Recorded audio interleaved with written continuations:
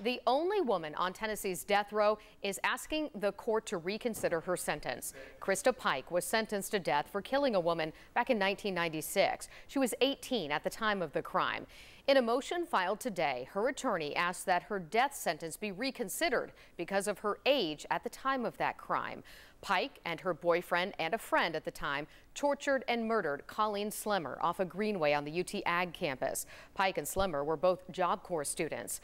Pike kept a piece of the 19-year-old victim's skull as a souvenir. The other two accomplices were sentenced to life with the possibility of parole. This latest filing by Pike's attorney cites a Tennessee Supreme Court decision that mandatory life in prison without parole for juveniles violates the Eighth Amendment of the U.S. Constitution.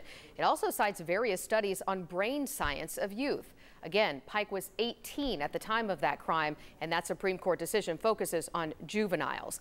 Pike has tried to appeal the sentence before. The U.S. Supreme Court declined to review the case back in 2020. The Attorney General's office did ask to set an execution date.